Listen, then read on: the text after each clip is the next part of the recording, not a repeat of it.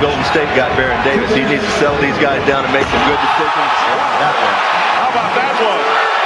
As Jason Richardson with 31 points at 37 the last time these teams played, and it's a three-point lead for Golden State. This has been quite an entertaining game for the crowd of 17,800 here at the arena in Oakland. It's just silly that a human being should be able to jump that high. I mean, he was still going up when he caught that ball. He could have thrown it another foot, another foot higher. I mean, terrific pass by Baron Davis. To anybody else, that's out of the building, but he was still going up when he caught that ball. Jason Richardson with some unbelievable elevation. And if you, uh, Stojakovic, you got to be frustrated because he guarded him extremely well. The only place he couldn't guard him is